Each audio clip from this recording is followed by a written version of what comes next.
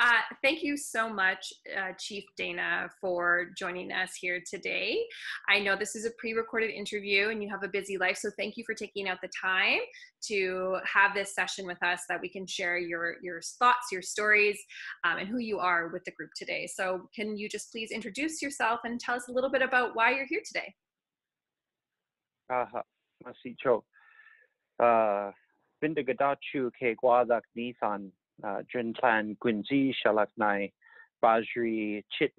Dana Tizya.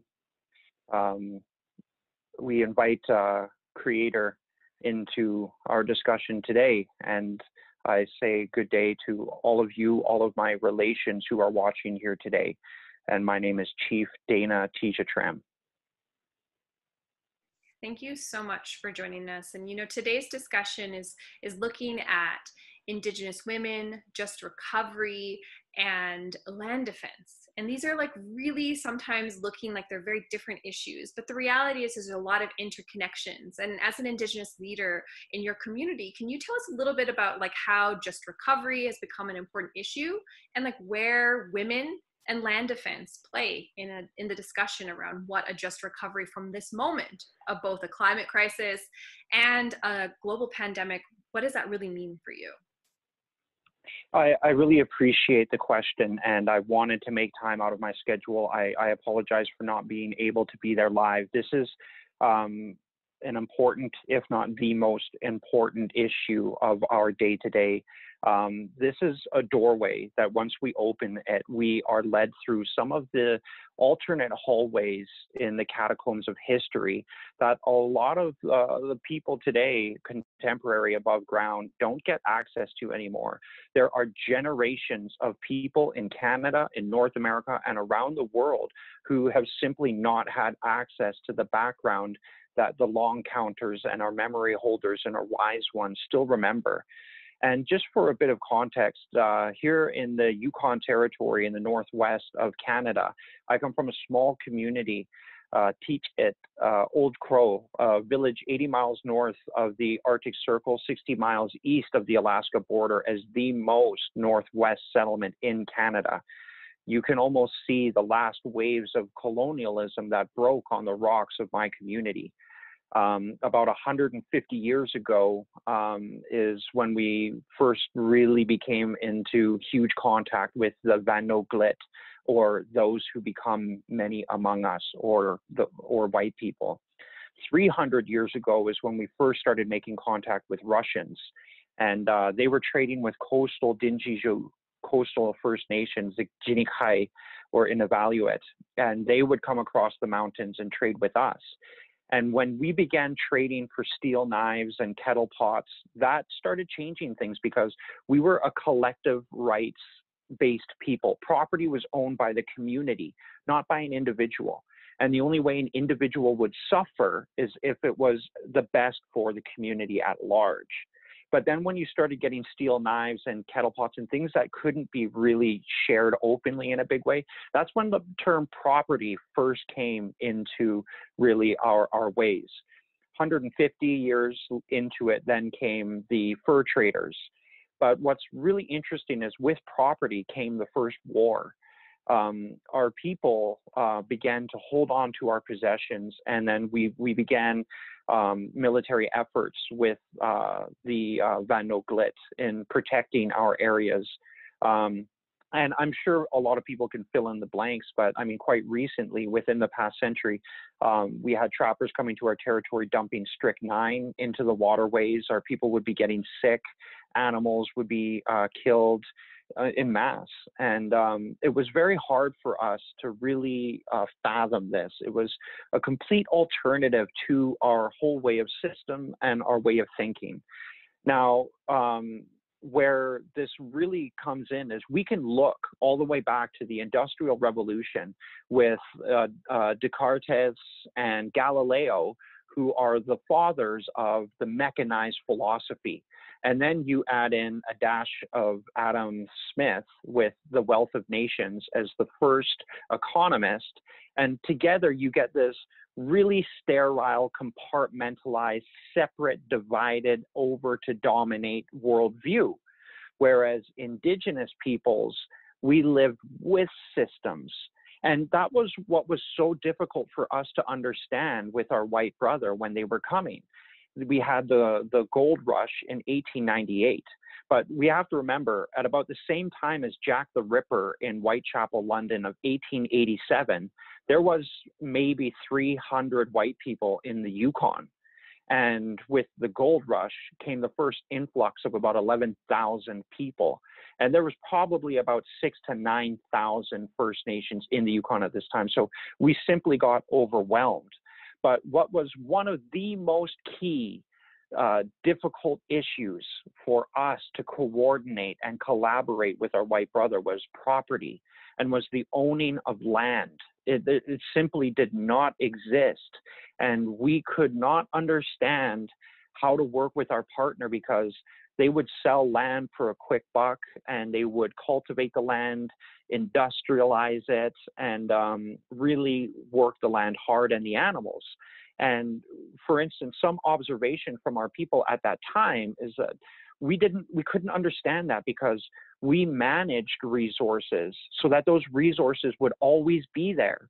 If you left that creek alone where you saw a moose standing, that moose would be there for your children, their children, and their children. We we were fine that way. But through Canada, and we were basically bribed with housing and welfare and jobs, but we didn't get anything from it. We never got rich. We never got anything sustainable. We were given table scraps.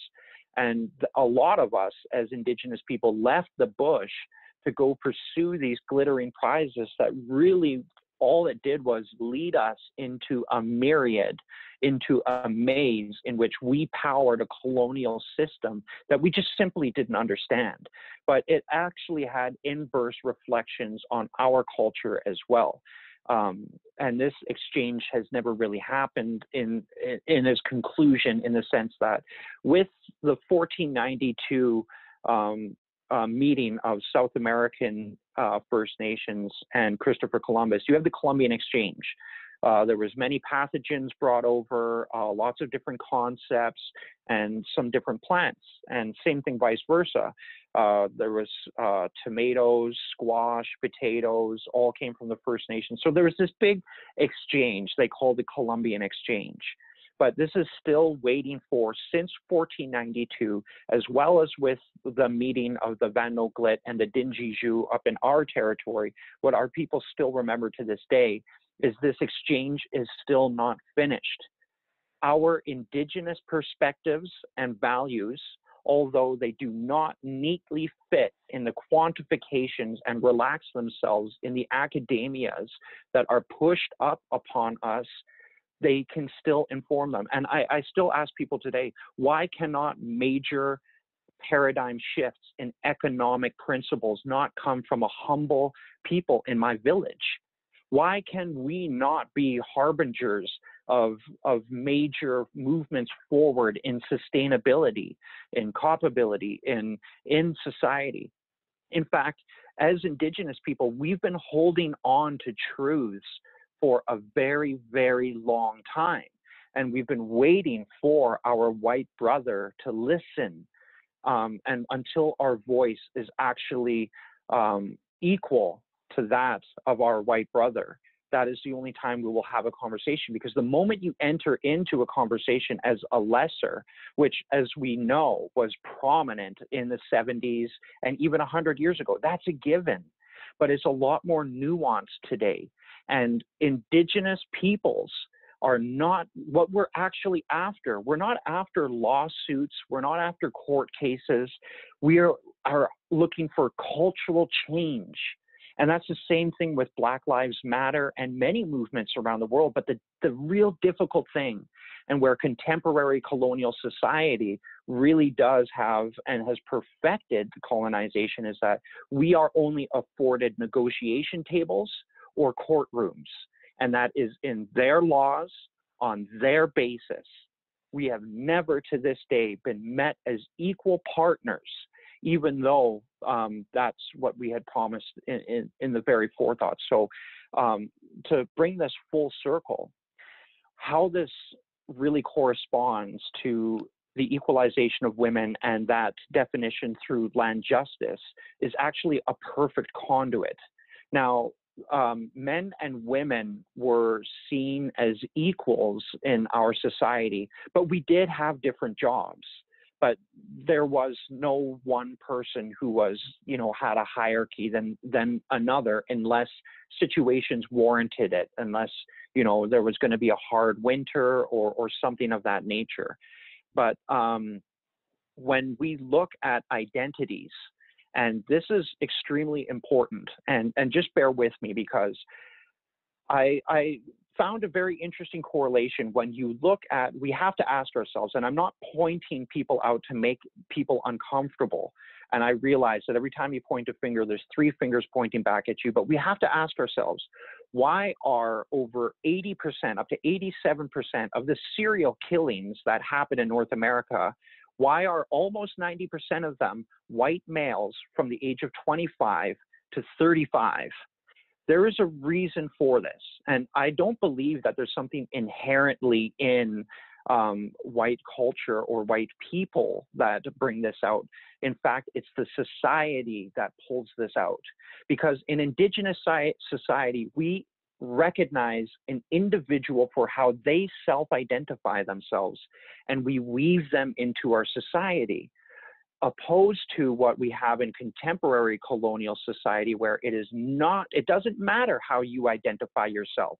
There is a preconceived compartmentalized space that you have to contort yourself to fit in to drive their system because their only sense of power is through money or status. It's not actually the breadth of your ethos you know how how great you are in in poetry unless you can sell it or unless you can get up to these higher degrees. So what we have here is the natural disposition of a human being now having to seek external externalities for their own um, well-being and value system. And that's really dangerous when you have to reach outside of yourself to validate what's happening inside of yourself. So, really, um, there are new theories today talking about a lot of these new serial murders, which only account for about 7% of all homicides in North America, are actually sociopathy and psych, uh, psychopathy, and they are punishing society. It is society that does not understand them, that overtly pressures them, and so it's this thwart back and attack.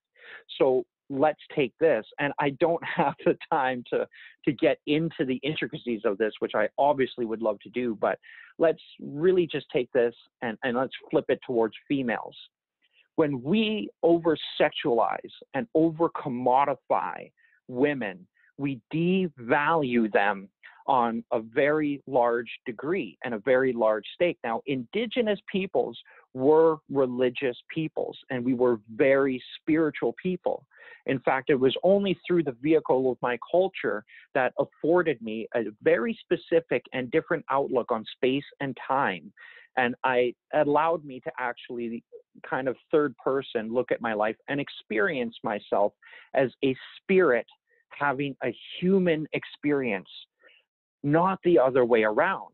And when you do that, it eliminates these mortal boundaries, and you're actually able to be a part of all things once you can eliminate this fear of death. So let's bring this over to the women.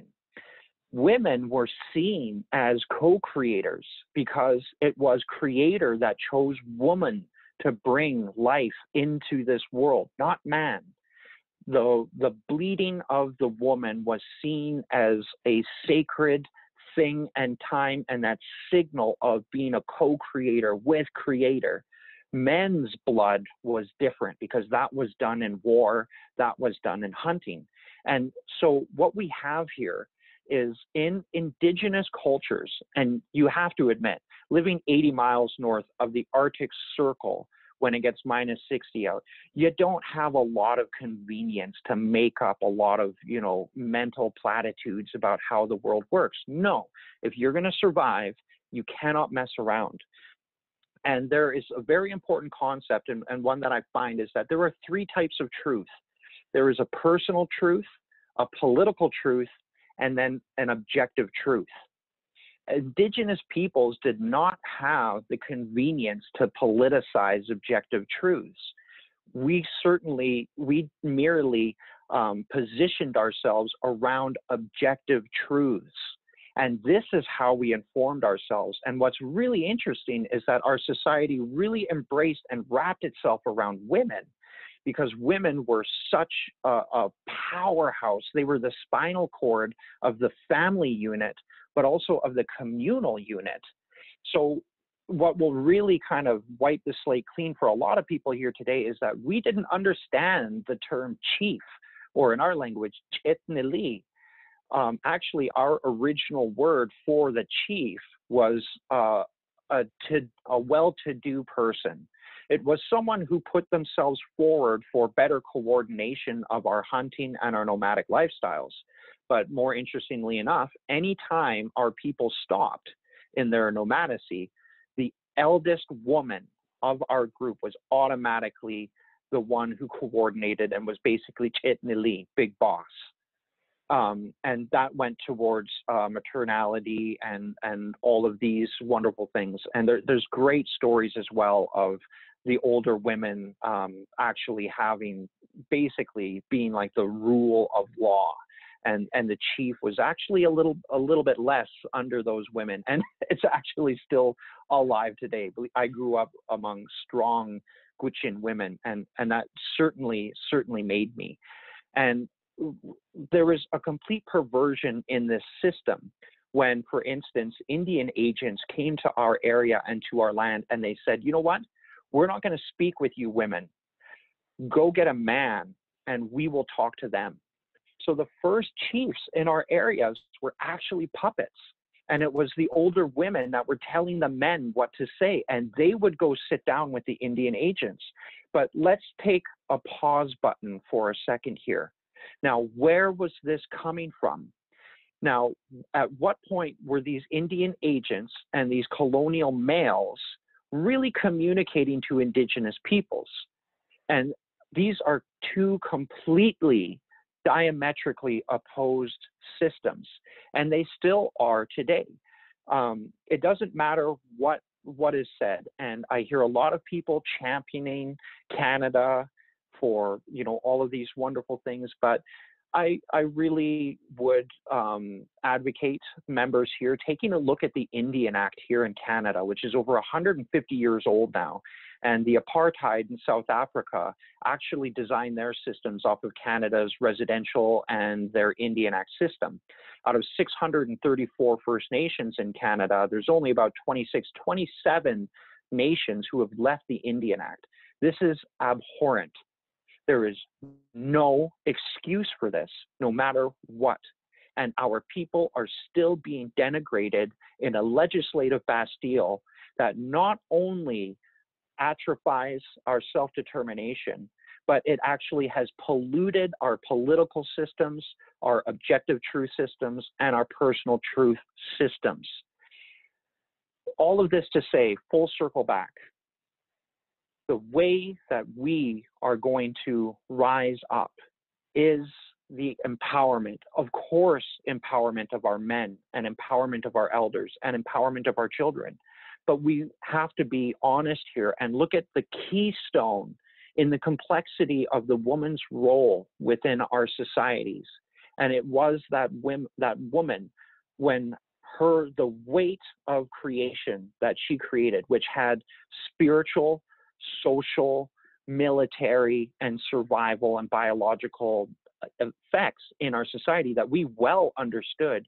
It was the female that was delicately placed that held together the buttresses of all of our inner workings that tied everything together. But I would like to also um, juxtapose this with the European system because at certain points, European systems came from this as well with their paganism. Um, women, it wasn't until the third dynasty in Egypt that the pharaoh declared himself Amun Ra, the god of God. But before then, it was the queen whom she married became pharaoh. And this is also likened to the Druids of Scotland and so on and so forth. But this changed And what's really interesting, and I and I, I could do a whole nother segment on this, but if you are going to dominate your area, if you're going to defend your land, and if you're going to um, attack and defend in military, it actually all boils down to women.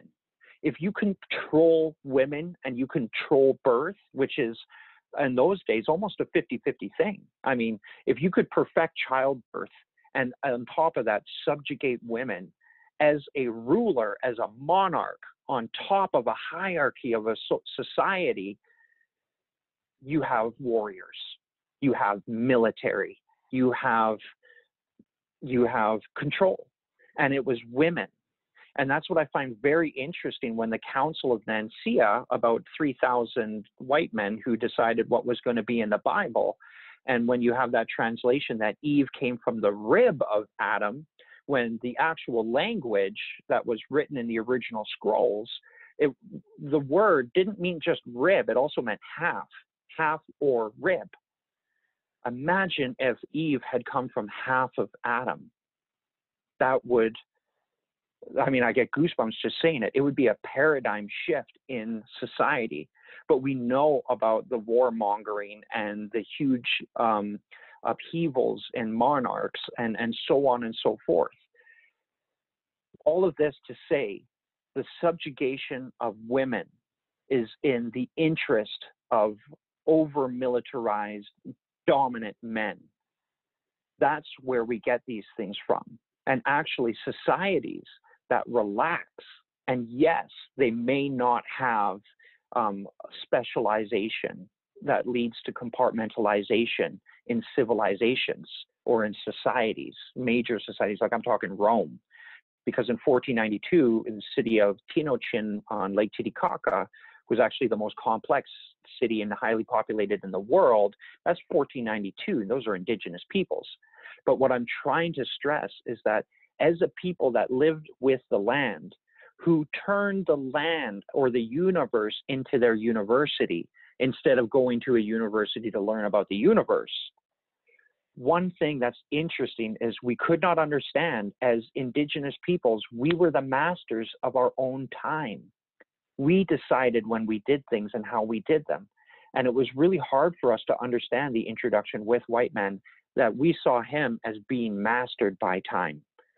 So when our society had that place and that space and time to configure ourselves around the objective, objective truths, which is purely in land, that protection of land, the protection of resources for uh, continuity and in perpetuity for all of our generations, women quickly rose to uh, a high point of, of reverence, of work, but um, their position in our societies were exactly that a keystone and something that we recognized.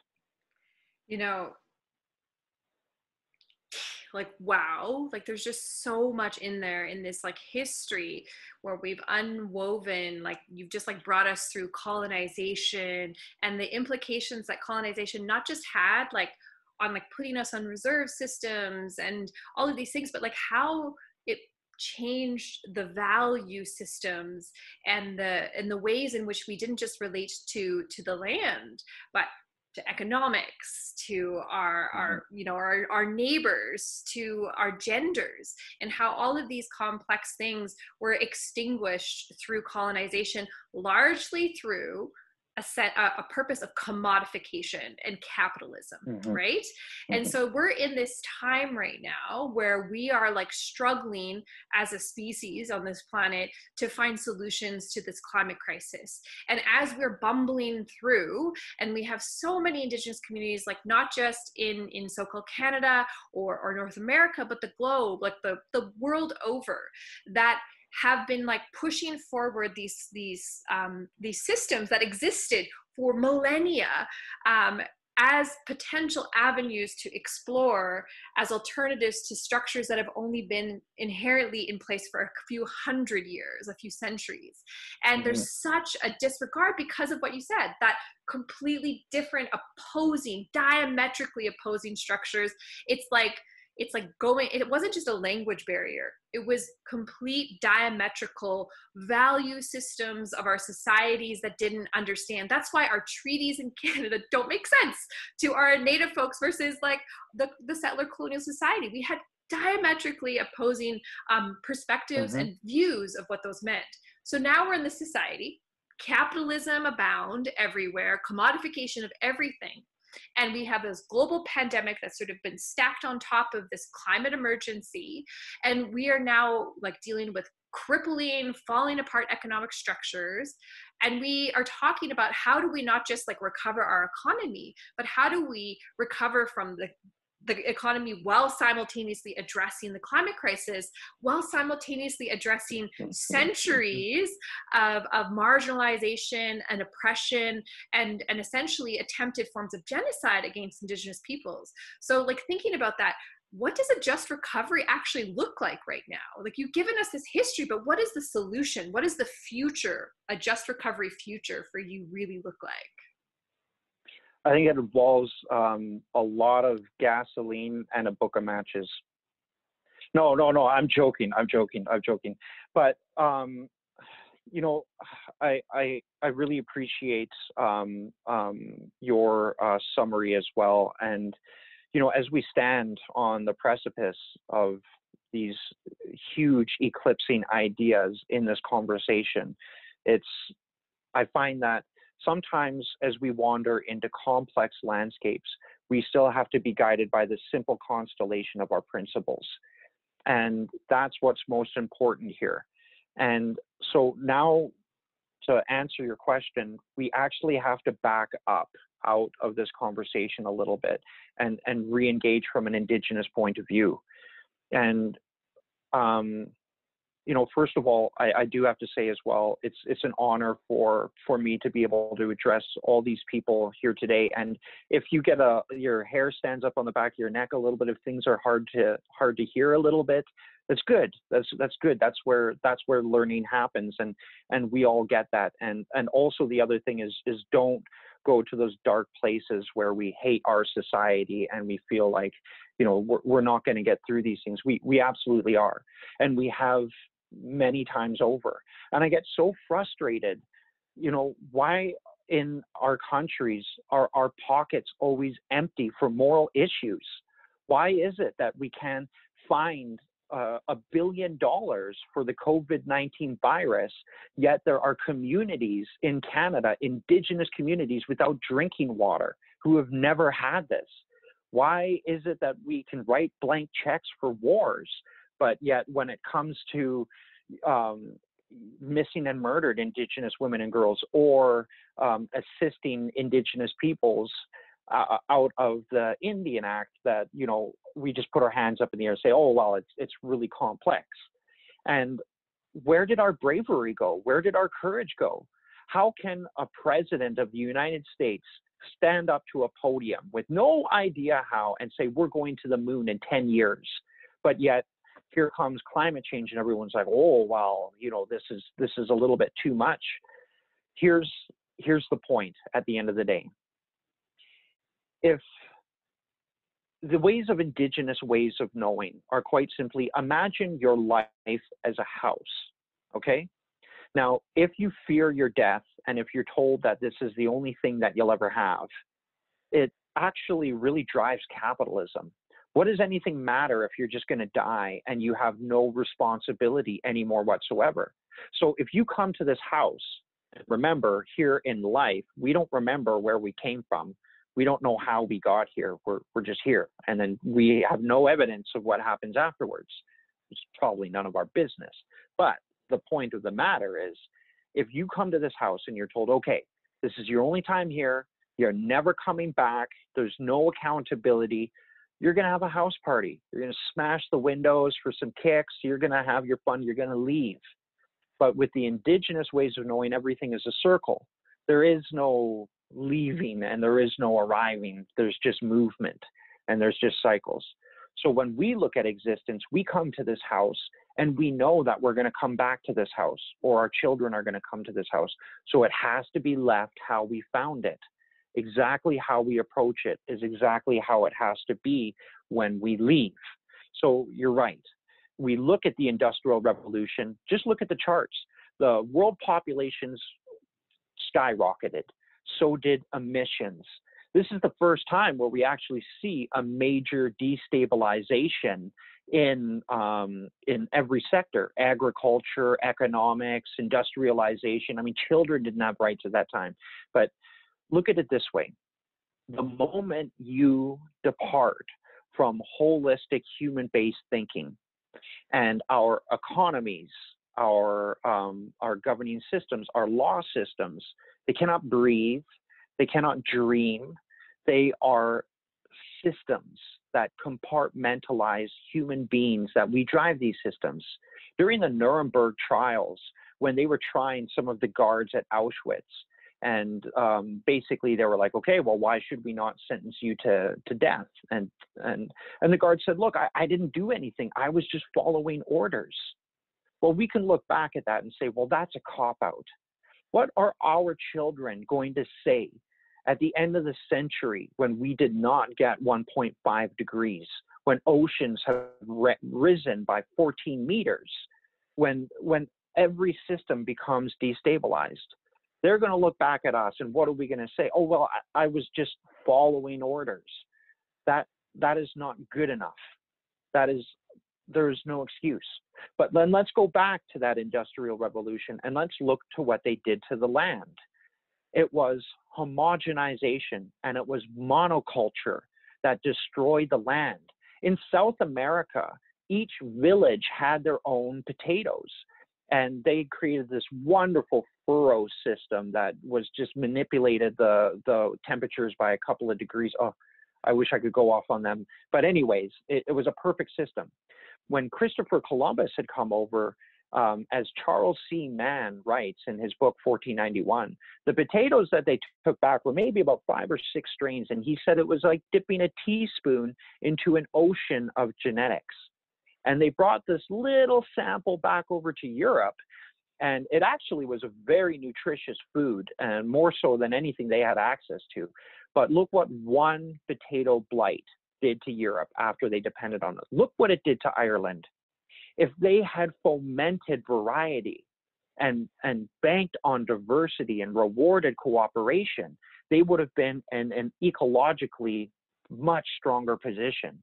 But by homogenization, by monoculture and industrialization, and looking at the earth as something to be dominated for our pure enjoyment, was hubris and is hubris to this day. And it is the same thing as we liken to our mothers. You know, they they give and they give and they give and, and we take and we take and we take.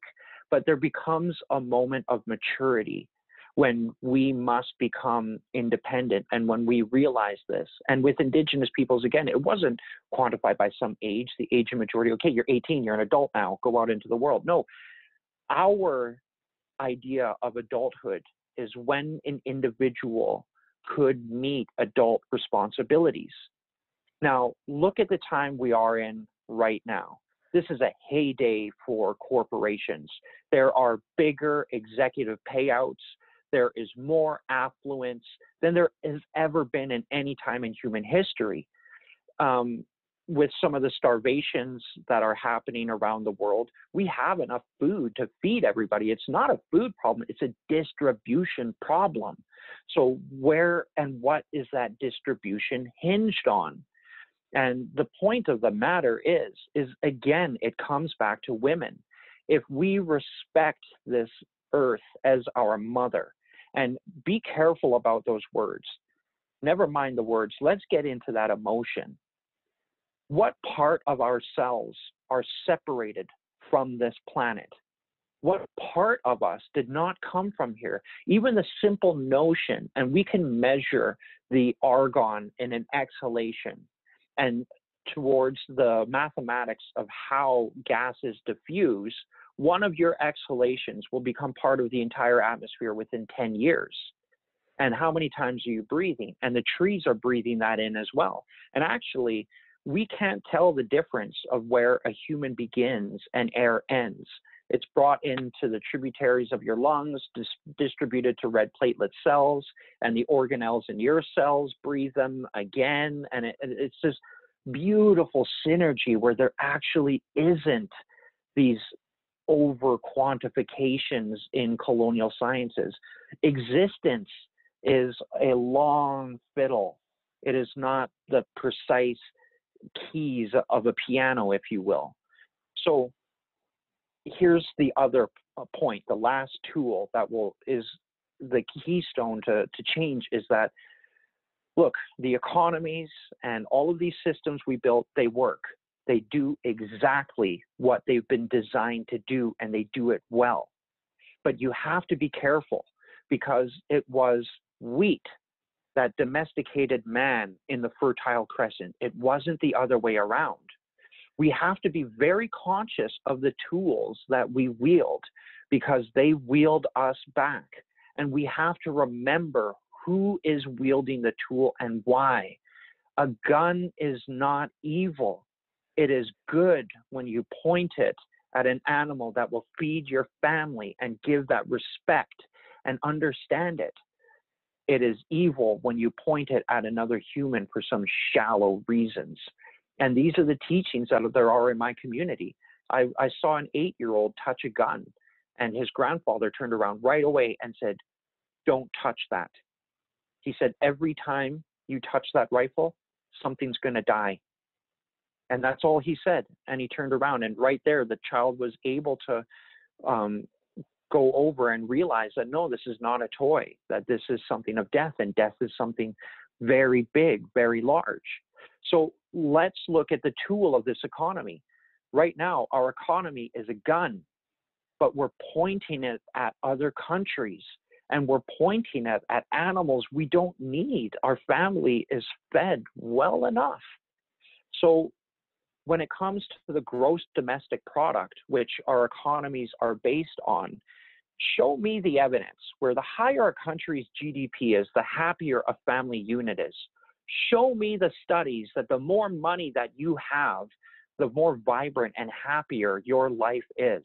I'm very interested in this. And it goes all the way back to Adam Smith in The Wealth of Nations, where he said, No dog would share its bone with another dog. That study's actually been done. dogs that study's actually been oh. done and they've proven that while the gross domestic uh, you know the gdp has grown tremendously across the countries. And they actually started to look at the gdp to look at like healthy happy countries.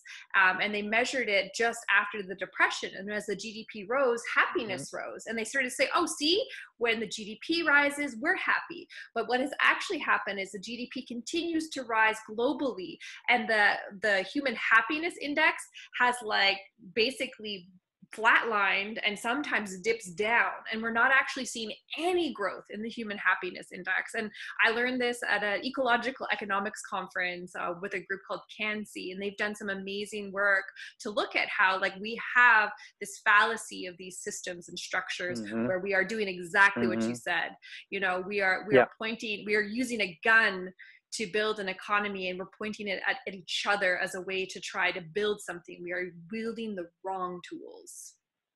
Exactly. And and just quickly to close off on that thought and and you brought up a really important point that uh, kind of fired something in my head is when i talked about the indigenous perspective and when we talk about the quantifications in colonial society look those their tool making abilities are very powerful the gun did amazing things for my people, but we can teach them how to use it. And that's these principles. Look, even in quantum physics now, we know we can measure down to the 14th decimal place in an atom to Planck's constant, where things beyond that just get really strange. But are we living better lives? This is the real point, and here's here's where the real crux comes. And I've I've thought about this quite a bit wouldn't it be so convenient if all of the issues in this planet were somebody else's fault? In fact, this planet is a mirror and it is directly and equally reflecting any displacement that is happening with the carbon emissions that is off putting and destabilizing ecologies around the world is a perfect balanced inflection of the imbalance of our perception in how we've approached our environments and how we've approached this world. It actually has everything to do with us and where our value systems are and what we choose to promote and what we choose to ignore. And all of the ancient indigenous shaman around the world will tell you that there is no such thing as good or evil. That in fact, both of these dualities are needed for existence, that one is not to be defeated and the other to win. They are to be experienced. And even through thermodynamics, we know that electricity or energy travels from the positive to the negative. That's a, a fundamental precipice of our of our third dimension. So why is it that human beings have the hubris to all of a sudden say, no, we're going to operate on a totally different way. There's going to be no negativity. We're not going to address it in a constructive way. We are going to ignore it and suppress it and just hijack this positivity. We're just going to get, we just want everything to be awesome all the time. Everyone's going to be affluent. The GDP is just going to keep growing. Everything is going to keep, what that is, is an insecurity, an existential insecurity of pain and even trying to escape um, death. And this is where the, the luxuries and the distractions truly come and where uh, especially attaching an arbitrary value base to that um, has allowed for these hierarchies that, that obviously do not serve the, the lower classes of people. And we can look through history, we can, we can see this on the news, we can do these things um, on, on mass scale, but the answer has always been with ourselves and our relationships with one another and the earth. And the big one is, and especially today, you can see this in the perversion and our relationship with women. Men have a really big problem today, and this is speaking as a male as well. Partially, some of it has to do with a lack of ceremony anymore.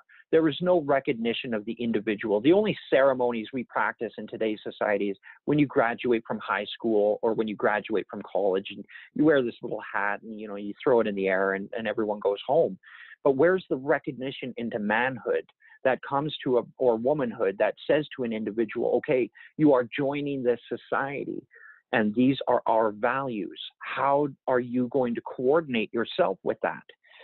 When I look at um, uh, a lot like even TV today, this hypersexualization is being brought on by very, very young girls as well too. And I do have to say, that there is something that I've never heard anybody talk about, but it's these uh, texting pictures to one another. And this is happening in high schools where young kids are, are texting inappropriate pictures to one another.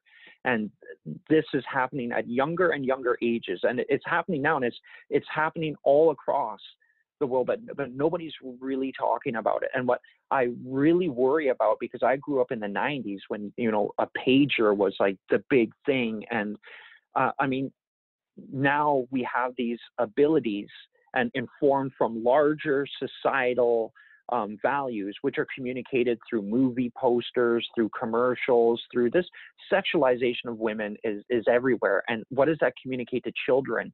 And when their interactions even at these younger ages, are coming through these sexualizing of, of young women at that very young age, how that perverts their, their, their growth into maturity is extremely troublesome. And it is the biggest red flag that I have seen recently. It is a canary in a coal mine. You know, um, at the end of the day, over um, the the sex issue it should this should be one of empowerment. We should be empowering one another as individuals. We should be and and we've always had this ability. We've always had this power. Uh, if if we want to be moving forward it's about the empowerment of the individual, which is interesting because we're in such a society of disempowerment. Your only connection to power is what's in your bank account. Your only connection to status is what your job position is, what, what your house is, the make of your car, and it goes on and it goes on and it goes on and on. You know what? We don't have to run by these banking systems the real solution to moving forward are is the return of the community. You know, in the 1920s, every community in the United States eh, they had their own dairy farm, their own seamstress, all of this, and it, it only became through uh, major industrialization and uh, mechanization where cities really started to come about, and the kids were leaving the farms and going over to this. It's actually we have the power to create a synergy and a balance between both and what that really looks like are communities coming together and creating co-ops and unionizing and, and coming together around their electives. This um, division that runs through, and you can see it as well on the internet. We leave our neighbors alone and we search for our communities on computers to find other people with like and views because we are so alienated from one another. So, really, where are these principles? Because as indigenous peoples, it was the pressure of survival that galvanized our arcs, the arc of our society, as an arc is stronger with weight on it. And I tell you, if that came back today in modern civilization, people would fall apart. How civil are people going to be in New York when food stops becoming, when food stops being delivered and, and all of the rest? It's returning back to our foundation as natural peoples and respecting for the roles of the objective truths we position ourselves around it's like moving that whole like value system. It's like moving you know we saw the the erasure both like physical and and historical. Like we lost our histories for a really long time of that collective mm-hmm. um uh, process in which is natural to humanity. Like like you said the, the the key to survival belonged in our collective natures i actually think that climate change is forcing us and even this pandemic mm-hmm. like the the global pandemic forced the world to start looking as a collective as opposed to you know europe versus you know russia mm-hmm. or canada versus the united states we started looking at humans we started looking at our communities mm-hmm. and how our communities inter interconnected and i think what's really interesting is it's not just about this human centric ideology around how nature actually you know moves us like we weren't nomadic because we were simply like nomadic but we were moving with the natural laws of, of the of the land of the river systems of the weather patterns um, which actually brought forward that biodiversity and we always think of mm-hmm. biodiversity mm-hmm. as trees and plants and even an- other animals that exclude humanity but one of the things i've really learned over the years that i feel like i heard these tenets in your in your um, and what you were talking about was that biodiversity is so critical for the planet but biodiversity mm-hmm. is not subjective or just like belongs to other species that are not human humans are so diverse we belong like mm-hmm. potatoes. There are so many varieties of us, and each one tenders the land and attaches to those places where it's nurtured and brings forward different types of nitrates and and and you know nu- nutrients to the land. And like we need the biodiversity, and colonization brought with it hyper individuality and also this homogenization grounded in systems of white supremacy and it has mm-hmm. resulted in this destabilization and what's beautiful to hear you speak about is that we're not talking about just indigenous ideology these are human ideologies that were the mm-hmm. foundations mm-hmm. of humanity and that a just recovery isn't simply about like how do we fix the economic system because like you said it's doing exactly what it was intended to do it's about shifting our ideological perspectives and looking at what does it mean to be human on this planet and who are those that are still holding on to those tenets of understanding our roles and responsibility. It is those that are still hearing the language of our lands. It's those that are still listening to the wisdom of our elders that is not extracted and put into a book, but is literally tactile, experiential, and, and really tangible. It is not something that can come in and shift away. It's something that's like lived experiences. And as someone who is like dene from the north i know that like it doesn't matter. Like time is is is so irrelevant because it is mm-hmm. really about what happens. I remember trying to set up interviews with with folks from the north including yourself where like things shift the community shifts and it's not about being driven and and you know imprisoned by time but it's being driven by the community as opposed to this concept of a clock or a date. And it's so challenging yes. to work with reporters and other people to be like, we want to set up these interviews at these certain times. When should we go? And I'm like, that's a tricky question. It's really going to depend on where the community is flowing in that moment, and you have yeah. to be able to be flexible. And I think that's a beautiful lesson on understanding how we have to move in what these new futures look like. They have to be flexible and they have to bend and move with community, and they have to recognize the diversity of the roles of men and women, young and old, and all the dynamics of in between. And that is like just like this just recovery is more than just about putting up solar panels and fixing the economy. Yeah. It's about yeah. a fundamental paradigm shift. Yeah. And it's such and a beautiful thing. You you hit it right on the head and I have a name for it. I call it the psychokinetic disease because a parasite enters an organism and makes the organism crave what the parasite needs and that organism is re- rewarded for doing that. You know, studies show that a nine month year old, or sorry, nine month old baby can understand the, when the last of its digestive cookies are there, and it will still give the last digestive cookie to another baby. This is the beginning of our psychologies, and, and this is what babies do. So, a baby is not born racist, they're not born sexist, they are taught those things. The Greek um, refer to a baby as tabula rasa, which means blank slate. So imagine every new brain, every new mind as a petri dish. We are infecting these new petri dishes with ancient, old, diseased forms of thinking.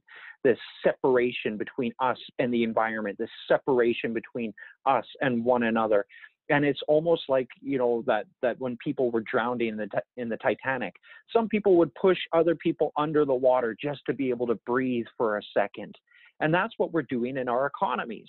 We are drowning, and we are pushing third world countries and others under the water so that we can relax on top of them while they are struggling for their lives. So, if we want to talk about just transition, that world will reflect the world that our ancestors dreamed of when we get real about our own biases, when we do the psychokinetic surgeries on ourselves. And that over leadership, over innovation, right now, we need courage. It is only going to be courage that will forge the generations. And for non Indigenous peoples listening, for Europeans, you can begin this and begin it with your story. Begin it about where you came from. I can go um, 30,000 years into the past with our oral history. And that is a technology because I'm not afforded the hubris that could come from individuality that I am just this. No, I'm actually a tiny twig on top of this ancient, ancient tree that's been reaching out. And there's a trajectory it's actually our community as indigenous people is not just here now it's interdimensional it's or sorry it's interchronological. We have we have i have a relationship with my grandchildren who are not born. I i i am in the trenches every day up to my neck in mud for them. And i was given the strength by my grand by my mother her mother and her mother before him. And i know all of their stories. So that is like a, a chiropractic that snaps me into a place. Begin your stories. Take your sovereignty over your mind and over yourselves. And let's start calling out the preconceived um, conveniences for GDPs, even legal systems, and all of these systems. These systems are not us. They are the Auschwitz death camp that we hold guard for, and we don't have to do it. But the problem is, the problem is this. During the Soviet Union, when the Soviet Union was rising, they were promising this is going to be a whole new way of life. There's going to be affluence. There's going to be all of this. And we have this um, issue that can serve as a weapon against us of normalization or hypernormalization in groupthink in societies.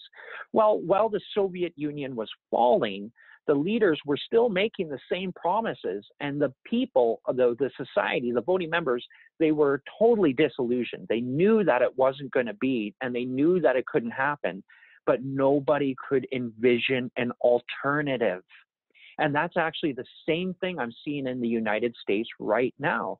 Their president is making all of these promises, all of these, but and I think that a lot of people just know and they can feel the violence of how much of an illusion the system is. It's not serving anyone except for the 1%. But who in the Americas can envision an alternative? Who has that alternative? I'll tell you that the indigenous peoples have been waiting very patiently for a long time. And we've been holding on to truths since before the first inklings of the Indo European languages. My people were coordinating and living into the up to the hundred thousands in one of the most inhospitable environments in the world. There are truths and principles that the land has taught us that we still retain and remember today.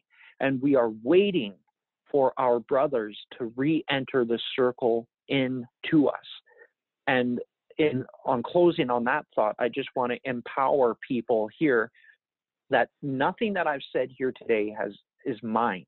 If anything that has been said rings a bell of truth, think of it like the fish that come from the ocean and fight their way up a river to spawn in a spawning bed in one of the most sacred concepts in our language we call Ni'inli, which would take pages to describe, but it's a, it's a fundamental function of the universe of renewability. But in any case, truths in your experience, empower yourself by seeing the truths that have found you, have been fighting their way to you this entire time to spawn in your mind to give rise to the next generation that will come back to affect the ocean or our external environments. And the other thing is is basically it's about taking sovereignty over information. But another side is is that we the Van Tut Gwich'in, it, Gwich'in are the people of, and it means the people of the many lakes. Uh, out to the east, you have the Tetla Gwich'in, the people of the headwaters. Well, when we had first met white people, we called them Chuk Je Gwich'in, the people who dwell under stone because of the brick houses that they built and the stone houses that they built. So for the non-indigenous people watching, you're Gwich'in too. And I'm Gwich'in too. My wife, who's from Singapore, I call her uh, Gay Hai Gwich'in, the people of the sunrise. We are all people. We are all in this together.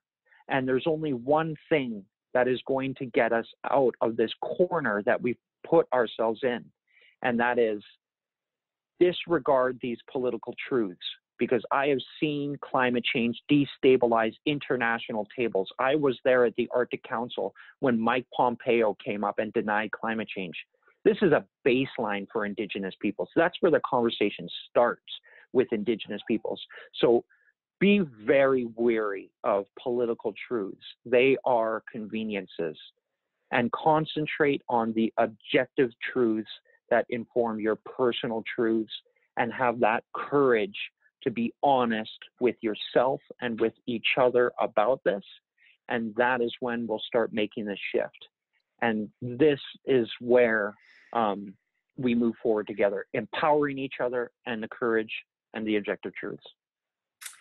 Thank you so much, uh, Chief Dana. It's this has been such an amazing conversation. Um, it, I just want to wrap up by saying, like, having you here is just such a wealth of knowledge this is going to be broken up um, and so there, i'm going to turn this into a longer piece that i will share with the with the participants. But uh, this is just a snippet for those on this webinar. Hopefully you'll listen to the full version with chief dana. It's been such a great conversation. Um, a lot of what you wrote, talked about with the disease of the mind reminds me of a really great um, native american author named jack forbes and a book called columbus and other cannibals. It was written in 1974 or 6 it is literally one of the foundational books for me. Um, and I encourage you all to read it because it really talks about how this disease of the mind with he was he comes from Algonquin heritage. He talked about how uh, we've been stricken with the Wetiko disease or a disease of cannibalism, um, which is really mm-hmm. exactly mm-hmm. what you were talking about. And so so grateful for for taking the time today and i will share this recording with you as well. Um, but thank you masi masi cho. And also just uh, you, you're you're Gwich'in, I'm Dene or Dene Sotlene, and our people are also like I'm Kaikale Dene Sotlene, which is people of the willow, and our name means just people of like of the land we are just of the land and we have sort of mm-hmm. designations mm-hmm. for all of the different regions uh, and where we come from and i'm the willow people and so like everyone is dene i remember my my aunt saying that one everyone's dene they're all from the land and we have that in a lot of our indigenous cultures is that we don't own indigeneity but indigeneity encompasses a value systems of that collective identity that isn't just an, an identity that um, that ends at humanity but encompasses the whole entire natural world and we welcome mm-hmm. you into that cosmology and that ideology of what it means to be indigenous as we talk about what it means to work towards a just recovery and a reconcile mm-hmm. of what it means for women to be leaders in our society and why land defense becomes so critical to achieving all of those things so thank you so much chief dana um, and i'm going to end the recording now